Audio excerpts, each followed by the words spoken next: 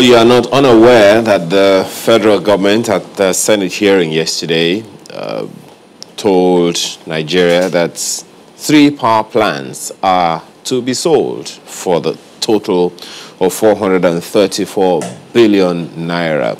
A number of questions are around that one already. Well, what has happened to the sales that we have made before? How productive, how helpful has that been? And where do we go from here? How useful how productive, how profitable for Nigeria in the long term or even in the short term would it be for these power plants to be um, sold at this time? These are some of the issues we'll be looking at as we take a look at Nigeria's power privatization plans over the years. We uh, have uh, two gentlemen joining us for this conversation. Joe Ajaero is Deputy President, NLC, and General Secretary, National Union of Electricity Employees, NUEE. Thank you so much for joining us this morning, Mr. Jero. Thank you. And we also have an energy expert and CEO, CCS Technology Limited, Otho Siago. Both gentlemen are in the Lagos studio with us. Thank you for joining us this morning. Thank you so much for having me. Okay, so are you, when you got that information, is it, a, is it like, here we go again, or at last? I think um, I was happy that at last government is trying to take the right step in the right direction. Because for so many years, I personally have advocated that government need to get their hands completely out of power generation, transmission, and distribution. For more than 60 years, that's exactly what government has been doing you know, trying to run the electricity subsector like a kind of uh, a social work team. But it's very clear that it's no longer working. There is no way government can handle this electricity subsector, uh, knowing fully well that what it takes to keep it running is huge. And on the other hand, for government to run it at the actual rate the actual cost per kilowatt hour of electricity, it is becoming very, very difficult for government to lay it bare and allow market forces to determine what Nigerians should actually pay for electricity. So but, this is the right step. But you know, if you look at what we have done so far in the privatization sector, especially in the privatization of the power sector, the electricity sector, have we fed any significantly better. I mean, this whole process started and was kind of culminated around you know 2012 and all of that. So between 2012 and now, if you look at an if you take an assessment of all of the privatization efforts, the activities of the private sector, you know, led initiative in the electricity sector, how significant has it been? For many years, government tried doing it on its own it was very clear, it wasn't working. So in 2005, the Electricity Reform Act was enacted. The idea was for government to tactically withdraw from the scene and allow private organizations to take charge of power generation, transmission, and distribution. But government couldn't just do it suddenly. What it did was to you know, initiate it piecemeal. Gradually. But it's so clear that over the past, since 2005, we have not actually achieved what was set out to achieve. Because currently you discover that electricity is not still available. And the plan to raise the generating capacity to 10,000 megawatts as of today still looks like a mirage because government is still involved. And we have been saying, get out of the stage, allow private companies to handle this. Let electricity be priced appropriately. The, it may go up momentarily, but with time, when we, when we have business owners coming in to generate electricity, distribute, and transmit, with time, because of market forces, the price of electricity will definitely go down. But you, as I used to say, you cannot take a goat to the market. You sell the goat, and at the end of the day, you have refused to release the goat, I mean the rope, to the man who has just paid you for the goat. So as a result, government is still having a lot of influence in this subsector. So it's making uh, those who are willing to come into the sector to be a bit nervous. And the discos and the gencos who are supposed to come in fully to recapitalize and run this business like a very good entity, they are finding it difficult because discos, for example, government is still keeping about 40% equity. So it's, it's, it's so difficult mm. because government's involvement is still there. Okay. Well, there's a lot to talk about that one, but let me take uh, Mr. Ajaero's opening comments on this. Uh, where do you stand on this? You work actively in the sector. Well, the if you uh, follow the analysis of the last speaker, you discover that you know government is still funding the sector, despite the might around private sector being solvent. Government is still building power station and transferring it to the cronies. Well, what you are seeing the last few days eh, or years is not just privatization. It's just allocation of the power plants to those in government. Now, how can government privatize and then build three more power stations? And then they are still selling the power. Is government now a contractor that builds and uh, transfers to people? And Nigerians are still not seeing this. And somebody is telling you that government is removing hand so that the private sector will bring in their money. In the last five years, government has spent 1.7 trillion for the same people. You sold your house for 400 billion. You gave the buyer 1.7 trillion. For goodness sake, when will Nigerians start thinking seriously about this? Mm. For the past 10 years before privatization, government didn't spend 1 trillion. And you just analyze that uh, government is still controlling 40%. Government controls 40%, but handed over 100%. Government is supposed to control 40%, but handed 100% over to the private sector. And government has, the private sector have never declared one naira dividend for government's 40%. And we are still blind about this whole issue. You know, we still can't see, you know, that something wrong is happening.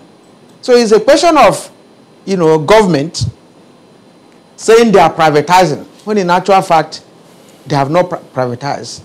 Up to now, nobody knows the owners of these companies. Nigerians are keeping quiet to know how solvent they were.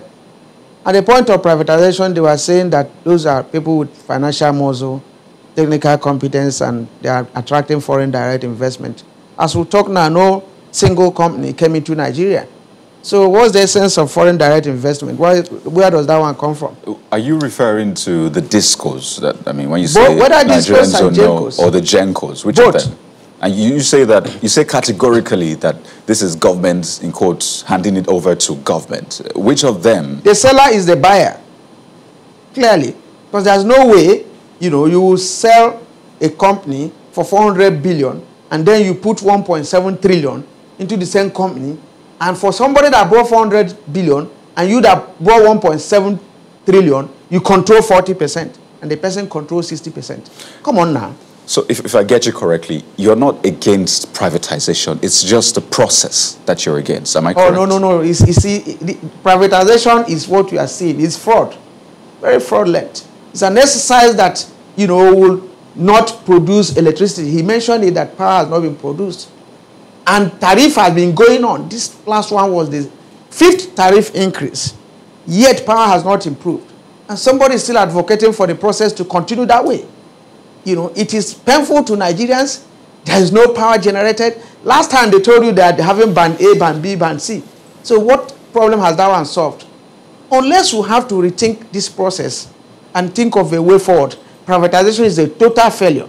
So what's the way forward? Because, I mean, ideally, privatization is meant to bring in private investors. I mean, pe people draw the analogy of the telecom industry and say, well, this is some sort of privatization. Private you know, practitioners came in and look what they've done with the sector. So in the same case for this, uh, you know, power sector also, privatization is meant to achieve what it achieved in the telco. So what is the way forward for you if it is not privatization? Well, uh, there was no privatization in the telecom sector. I think they were trying, it's just technological change that you have GSM that happen all over the world, the GSM technology. But even in Nigeria, they had to destroy NITEL first for MTN, uh, for MTN and Glo to operate. Because if NITEL is to operate today and they compete, because you can't have privatization without competition. Now, if NITEL is to be around to compete with Glo, with MTN, you know, then you will see. That's the what when, when you say they, who are they? The state, the Nigerian state. As at today that I'm talking with you in this station, NITEL has not been privatized, but it has been vandalized. Go and tell me who bought NITEL. So that is exactly what you are saying. And I've given this example before. You don't need to kill NTA for channels to operate. They have to operate side by side, and then you have competition. That's all about the market. Market is all about choice. Are you saying, in effect, that this whole idea of privatization is actually some gimmick by some people that you imagine it's a, it's, are right there just to you know, frustrate the state? It's a fluke because if you have NEPA that is inefficient, but the tariff is low, and then about 25 companies were earlier licensed to participate in the power sector, and none of them could participate. So if they had come side by side to compete with NEPA, NEPA that was generating 4,000 megawatts, assuming they come out with 2,000 megawatts or 3,000 megawatts, now the generation will go up. But now you took that same 4,000 megawatts you say is inefficient from NEPA, and you split it into 18 and shared it among your friends. And what we still have is 4,000 megawatts. How does that increase uh, uh, the output? All right, Mr. Joro, uh, thank you, uh, Mr. Jago. It, it, would seem like, you know, uh, Mr. Joro may have been copying from the Senate, the President of the Senate's notes when he himself said, you know, there is a need for us to take another look at this whole privatization process. And, um, you know, a number of people will probably agree with them when they say, look, we have made this sacrifice, and from what he has also said, uh, the privatization has happened. A good number of the GENCOs have been fully privatized, but a few of them, maybe, you know, not yet. The DISCOs, 40% still belong to the federal government. And the kind of resources that the federal government continues to pour in to the power sector, into the entire value chain, is quite, you know, significant. So again, I ask you, given all these facts and the position of Mr. Ajaero, how productive would you say this privatization eh, exercise has been so far? The, the idea is a very good one. But the problem we're having is government that is holding back. We have a very good... Uh, when you say government is government holding is back. holding back because um, you, you cannot privatize and you are still playing in the subsector. Okay, look at the telecommunication subsector. There is none of these companies that you can say is owned by government or government is having strong equity in some of these companies. So they run at their own. The three big uh, telecommunication com GSM companies, they are running their business on their own. So government needs to treat the electricity subsector the same way. If you privatize, you must get off the scene. But you know that the electricity sector is seriously different from the tel telecom communication. No, that's where we get it wrong. Uh, let me explain, and then you can explain your part. Um, the, the telcos do not have generation companies, transmitting companies, and distribution companies.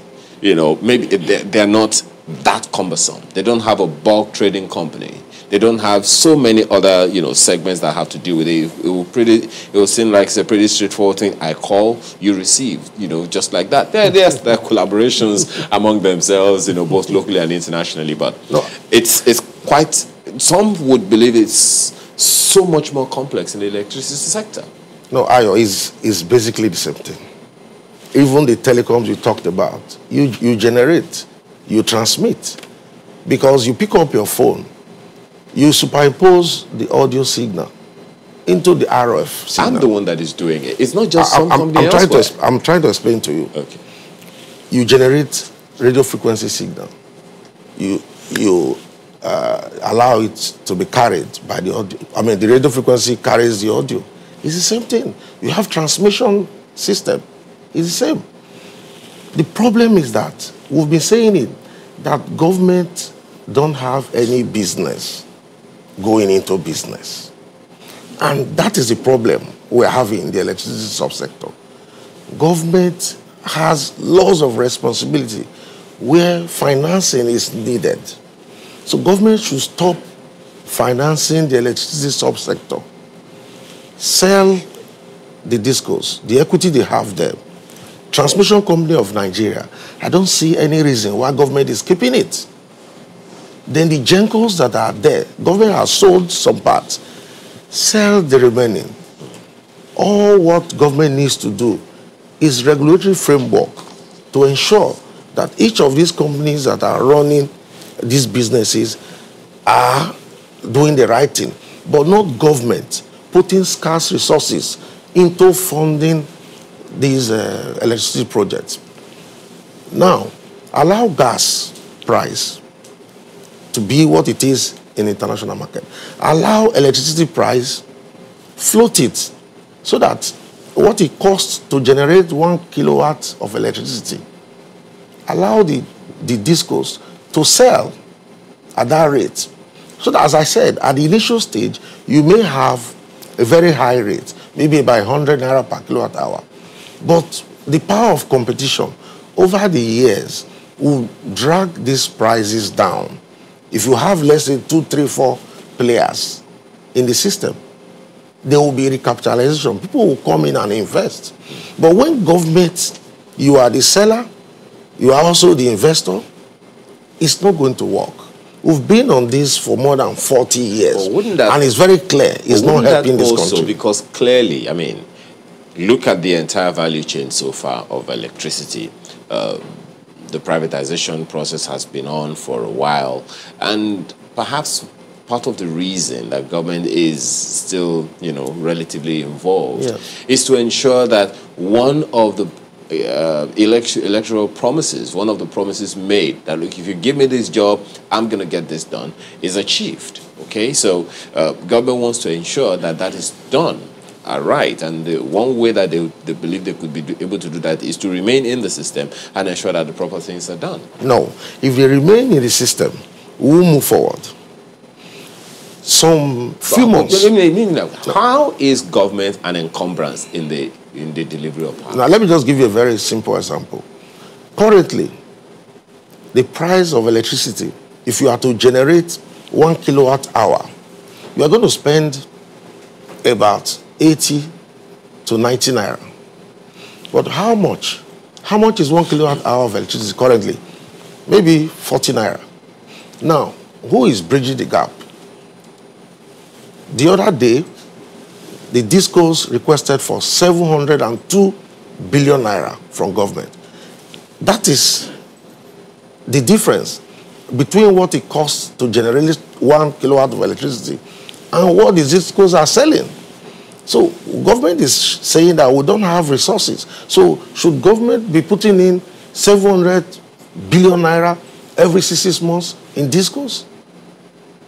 When these resources currently available to government is so scarce? You know, Mr. Ajaero. So they should, they should answer completely.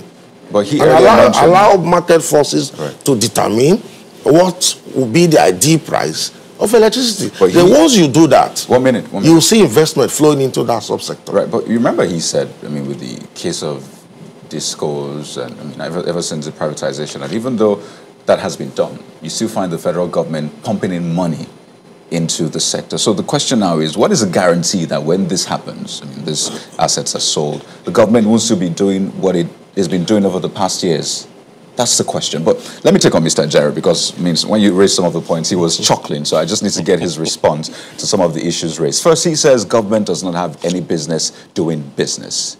Do you agree with that? Well, he is here to tell us the business of government, you know. if the uh, if business of government is not for public good. You know, if you look at it, government is supposed to generate revenue.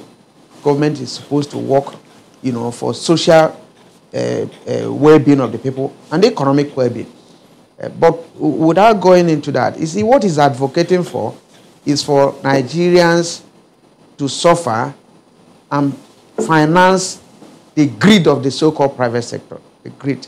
So if they come to tell you that the market force says is 20 naira per kilowatt hour, government should not talk that it should be 10 naira.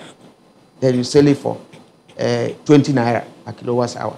Now what he's equally telling you is that even this tariff you are paying now, that the whole country is crying, that is not up to half of what you should pay, even when you are not receiving services in the country.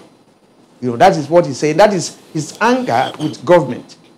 His anger with government is that government should remove their hands so that they deal with Nigerians. They will pay high. You know, I'm, I'm saying this because, you know, it's important for us to situate the argument. Is he has not said that government is doing anything bad, but he's still building power stations. Because seven years after privatization, none of the companies have built a power plant, not even one. Now, in the absence of this government intervention, building one or two power stations, handing it over to them, what do you think will be the power situation in the country? Now he's equally calling up government removing hand. Government sold, you know, uh, 60% to the discos and handed 100% over to them. So why is, why is government a problem now? Because even its investment there, you know, it is not getting any profit from it. So let him situate where government and in all the whole the country of the world, the transmission sector of the economy is usually under government control because of its, you know, because of its security implication. Okay. Mr. Ajaero, here's what we'll do. Because, I mean, on one hand, earlier on, you said, well, it's government selling to government. So you didn't quite trust the government in that sense. But now you're saying, well, the government playing, playing a, a, major role in the sector still has a way of reducing its impact on people. So we'll try to balance this, but we'll quickly go on yeah. break. Okay. When we return, we'll get your response to this issue and more. Please stay with us to discussing Nigeria's power sector. It, it's always a huge conversation, really, because it's something you and I experience on a daily basis. Well, the latest about this is a privatization talk. And we still have with us Mr. Joe Ajaero, Mr. Arthur Usiagwu. Now, Mr. Ajaero, before we went on that break, I was trying to understand your position, really, because earlier on you said you didn't quite trust the government in this whole privatization exercise. You thought, you think that it's government selling to government in some sense. But still, you said that you want government to be actively involved so they can, in quote, regulate and reduce the pressure that the citizen might face if this is entirely privatized. So how do you want the government to really go about this? Do you trust the government? Well, the issue is not, uh, the trust gap between us and government is wide already. So we're not even talking of that. The, if the whole uh, uh, privatization process was, wasn't equally transparent, you know, that's the point I'm making. But in this same instance, as it stands today, I'm saying that if government had not built another three or four power plants, which they are equally transferring to their friends. Now, there will be no power in the country. That's the point I'm making exactly.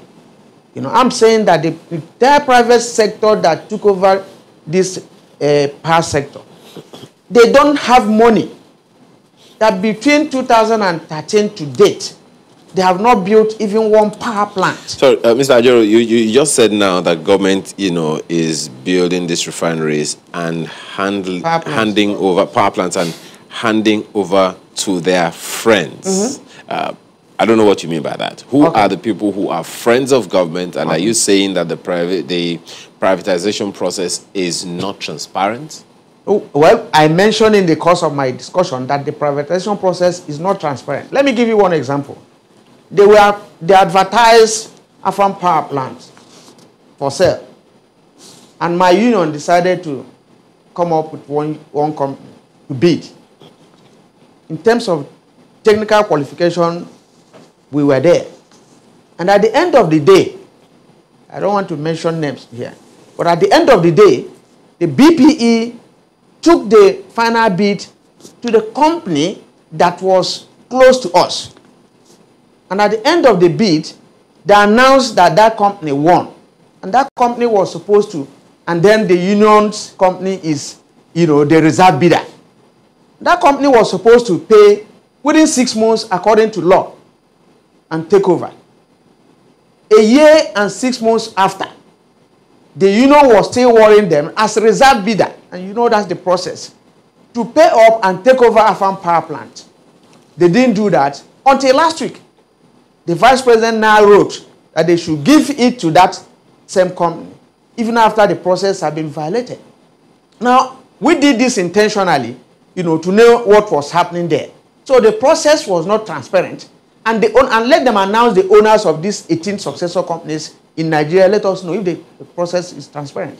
I repeat it here that the process has never been transparent. Some listening to you right now saying that would say perhaps you are not happy with what's, what's, what happened and your company or your own proposition was not accepted and that is why you are embittered. well, my position on privatization from 2000 to date has been clear.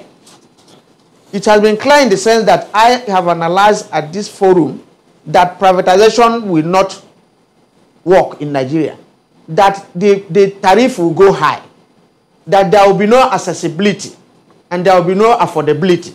That all these factors, you know, that Nigeria, you know, and the system they are using will not allow the process to work. And that privatization has not worked anywhere in the world. So what will work, Mr. Ajaero? What will work is efficiency of the public sector because you are transferring public, public monopoly to private monopoly.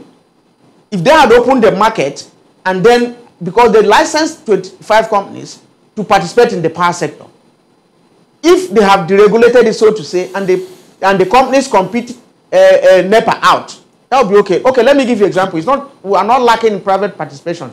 NESCO in Jos started electricity generation, distribution, and transmission in 1929. They are still there today. I'm, I'm trying to draw this as an example so that you know that the private sector can really participate. But by the time you balkanize this mm. and share it around 4,000 megawatts, and you expect efficiency, how can you get 4,000? How can you get efficiency? So you're saying rather than you know, buy it off the government, the private sector should build theirs God and compete you. with the government. Is God that what you're saying? God bless you. And I gave you example before that you don't need to kill NTA for AIT or channels to operate.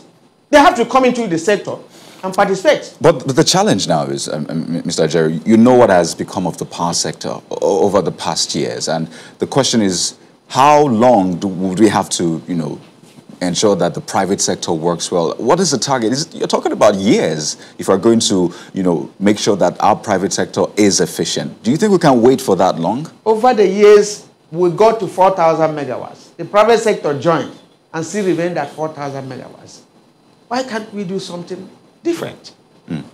Well, some would also say that it's a function of the capacity of the infrastructure that government has at this point to get it done. So on the one hand, the generation companies have capacity to do, say, 8,000. Let's, let's just imagine that they can do more than 4,000 megawatts. Fine. There is no way to store electricity. So, but then the transmission capacity and the distribution capacity are not up to par. Mm. What hmm. do you think the GENCOs can do? Well, the GENCOs, their duty you know, is to make sure at least they generate more than that. Remember the agreement they were giving. And when they generate more than that and they cannot transmit and they cannot distribute, no, what happens? At any, point, at any point in time in Nigeria today, and I want you to go back, the transmission capacity, the GENCOs have not surpassed it. The transmission capacity, they have not surpassed it. I, know that Mr. Ajaero would ha have a thing or two to say on Mr. that. But, I beg, beg about Mr. Oswagu. But just a moment, uh, something that you said, uh, uh, Mr. Ajaero. You said that you want efficiency in the public sector so that the public sector can continue to handle this thing. If the public sector had been efficient enough over the years, why would there have been a need for privatization? Well, they, they have been efficient, but government was not funding it. Remember I told you that for two, three years before privatization, government did not put any one cover into the power sector. But as of today, we are hearing of 1.7 trillion into the same sector. So, so, how do you expect efficiency without funding? The power sector then, NEPA couldn't have built a power plant, clearly. And you brought the private sector, you say they have capital. And government is still funding them. This is conflict. Well, someone is asking you uh, on Twitter, Bodam Guani says, we should ask you if the discos are making enough revenue to cover their current operational costs, because your members are the ones running the discos, you should have the numbers. Do you? If the discos, the discos are making more than enough money today, because even all the, the government 40%, the workers 10%, the government, the discos are still controlling them as of today. They are making enough money, you know, to run the sector. I don't but, but the GENCOs complain that they are being owed, I mean, millions, Who? billions. The GENCOs. The GENCOs are charging us gas on dollar. How can we generate gas in maybe Niger Delta, then use it to generate electricity, you, trans you convert it to gas and ask Nigerians to pay tariff? Okay, I mean, the cup is kind of full, Mr. Arthur Usiagwu. A lot of issues. I, I, I don't know where you want to begin, but you know what? You could just get right into it. My friend Joe is just uh, speaking from the point of view of uh, labor. Of course, I am not surprised. But we've been on this conversation for more than 20 years. And it's very clear that we've not made any, uh, any inroads in terms of uh, progress so far. You see, we have a clear roadmap. I used to, I always like you giving this example. A clear roadmap in the telecom sector. The power sector, government is making it even more complex and it's unnecessary. Everybody can generate electricity. I'm sure most of us will have generators in our home. It's as simple as that. Allow investors to come in. Sell what you have currently, the way they are. 100%. Government should sell everything they have within the power sector 100%. Allow market forces to determine what is the right price of electricity. That's number one. Number two, the grid system, we are running a, a mono grid system where you generate electricity maybe from the Niger Delta and you plug it onto the grid, then you power up to 1,000 kilometers away with all the losses along the line. It's not going to help us. Grid capacity as of today is still less than 6,000 megawatts we can, we can sell off all these things and initiate a process to do a microgrid system where Lagos on its own can have a grid of its own, a microgrid. Abeokuta can have a grid on its own. Niger State can have a grid on its own. Then you do what we call power mix. Solar, gas, uh, uh, um, the other type of uh, generation system. You infuse them into the grid. So we cannot have grid turbulence. Maybe in Shiroro and Lagos is on blackout. Lagos is big enough to have its own grid. All these things cannot be possible if government is still funding power. Well, how about... We have, we have grown past that stage. Mm. If we continue with this idea that government must continue to put money in power, I can assure you, 30 years from now, don't expect electricity in Nigeria. When, when he said that, how about the private investors build their plants rather than buy it of the government? Do you think that's a fair enough proposition? If they can, there is no rocket science in building any power station. You can, you can even do 500 kilowatts of electricity in three months. There are trains that are available that you can bring into this country within three months and you set it up in catchment and you can generate even up to one megawatts. Private sector can do this and they have done it in different parts of the but world. But you know, it's the same private sector privatization that the Senate president has been, the president of the Senate has been complaining about. The process, the entire, you know, gamut of the whole thing and how it has been unproductive. It's not that it's unproductive. The problem I've been saying is that you, you, you, you sell these gencos or discos and you are still playing in the business. So you are not allowing the owners of these businesses to run them the way it should be. And if government pull back, they are going to have resources to take care of other areas that are crying for government intervention. We should stop treating electricity as if it's social service. We've gone past that stage. And the bane of Nigeria's development is because we don't have electricity in this country. Mm. So we should take the bull by the horn and do it once and for all. And I give you three years, you will see the metamorphosis in this country if we do this. But if we keep on pushing government to put scarce resources in this sector, mm. we will move forward. Well, we, have seen like Mr. Ajaero is not completely in agreement with you, Mr. Ajaero. Well, the, the issue is that uh, he is saying government should stay away. If you remember, even before last month, government was paying them subsidy of 1.7 billion daily. And then that's government you are saying take away your hand. Subsidy of 1.7 billion daily to the so-called private sector. Now, I think that's the role he's saying government should take away their hands. How does this disrupt process? I thought that even government, and that was why I accused government initially, was still giving them money. Okay, so what is your own, you know, takeaway on this one? What should we do if we're going to have productive? My productive what my takeaway is that if you allow this private sector, there will be no electricity in this country in the next six months. Leave them. That he's saying now, let government not bring anyone cover. There will be the, the system will collapse. Let me tell you, all the transformers in the country are on obsolete. They are on overload. Nobody is replacing them. There's no replacement. There's no relief transformer. Mm. The same thing with the, the, the GENCOs. None okay. of them has built a new power plant. Okay. All over. Yeah. Well, and he's telling you to leave them. We, we, we, the, it's an ongoing conversation, definitely. The decision is not here. We've just tabled the issues for those who will take the decisions to be able to look at. But we have to thank you very much for your time this morning. Um, Mr. Joe Ajaero is Deputy President of uh, NLC and General Secretary National Union of Electricity Employees, NUEE, as well as uh, Arthur Usiagwu is an energy expert and CEO CCS Technology Limited. Thank you, gentlemen, for your time. Thank, Thank you. you